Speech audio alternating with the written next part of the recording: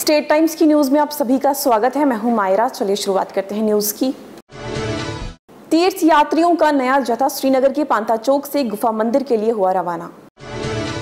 गौरीकुंड से केदारनाथ रूट पर कई स्थानों पर बादल फटने से कई जगहों पर सड़कें क्षतिग्रस्त हो गई। हिमाचल प्रदेश में बारिश से तबाही, तीन की मौत 40 लापता। श्रीनगर में निकाली गई तिरंगा रैली, छात्रों ने लिया बढ़ चढ़कर हिस्सा।